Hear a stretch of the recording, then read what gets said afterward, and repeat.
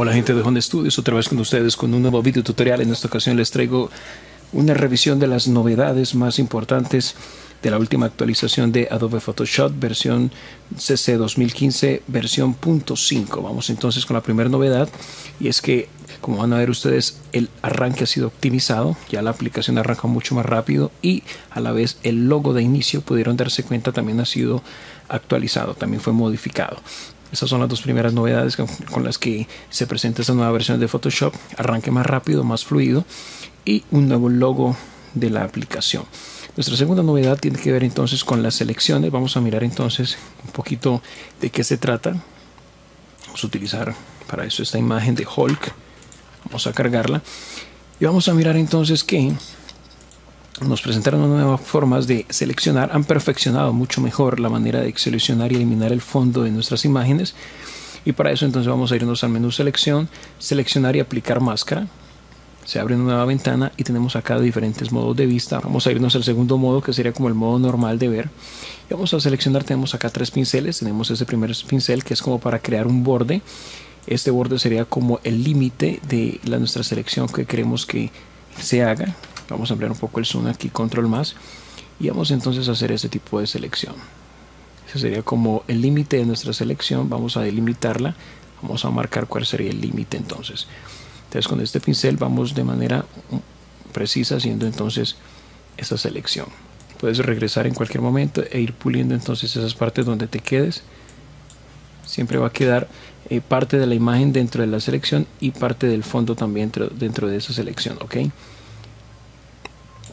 Vamos a pulir aquí un poco la parte del cabello y ya casi terminamos entonces con esa selección. Allí lo tenemos.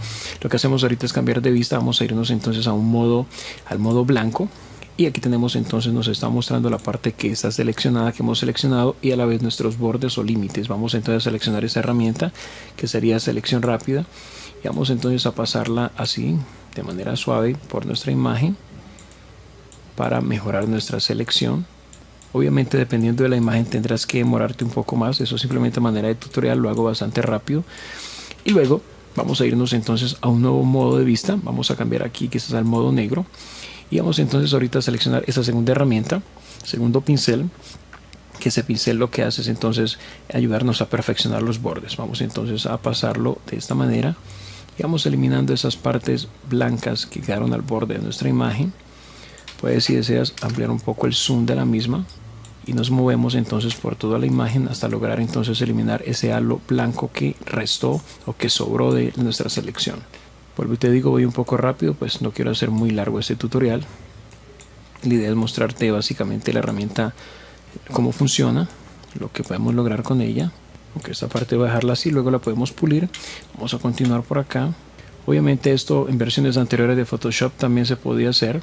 Lo que han hecho es optimizar el flujo y lo que han hecho es mejorar entonces como el algoritmo para hacer la detección de los bordes y para eliminar entonces estos esos eh, fondos de nuestras imágenes para que queden mucho más perfectas.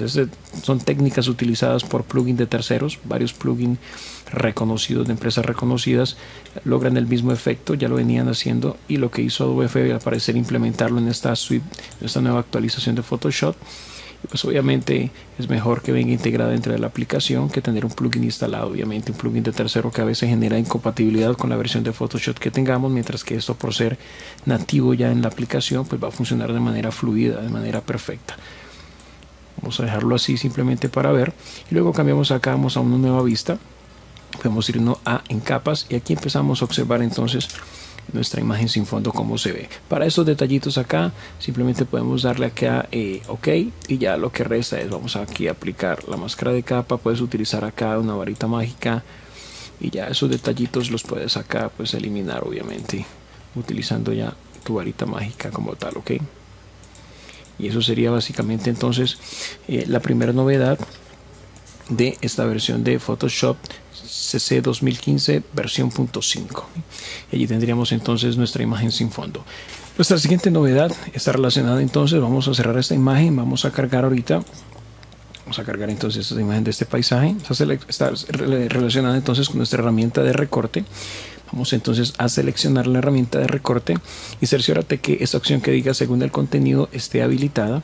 Y antes lo que hacíamos era simplemente arrastrar quizás la proporción de la imagen un poco para eh, rellenar, aplicábamos y luego lo que hacíamos era con la varita mágica seleccionar aquí y nos íbamos entonces al menú selección y luego lo que hacíamos era rellenar y utilizamos acá según contenido para lograr entonces el efecto que buscábamos. En esta nueva versión lo que ha hecho Adobe es sencillo.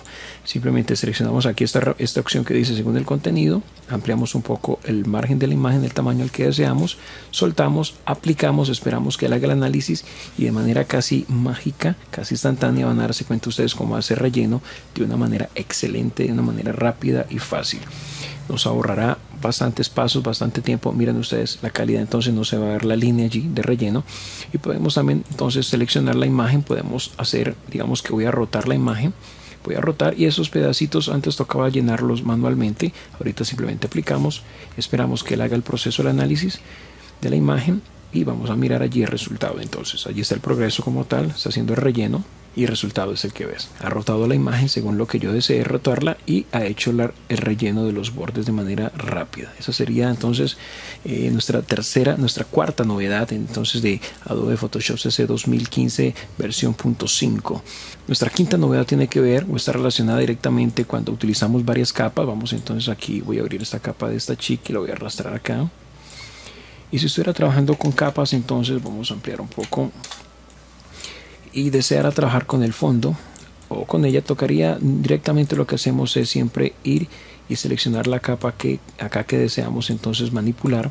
Pero entonces viene una nueva opción que se llama selección automática que si la habilitamos y si yo toco el fondo automáticamente se mueve o si toco la foto de la chica automáticamente voy a tener acceso a ella. No voy a tener entonces ya que moverme acá directamente ir a las capas sino que simplemente habilitando la opción selección automática voy a lograr entonces optimizar mi tiempo a la hora de trabajar con las capas nuestra quinta novedad tiene que ver entonces ahorita con una nueva opción que integraron entonces en la herramienta licuar. Vamos a irnos a filtro licuar y está relacionada directamente con la detección de rostros. Tenemos aquí una opción que se llama licuar con detección de rostros, desde la cual podemos entonces manipular, como pueden ver ustedes, el tamaño de los ojos, la altura de los ojos. Básicamente tenemos aquí categorías para trabajar simplemente con los ojos, también categorías para trabajar con la nariz de la persona.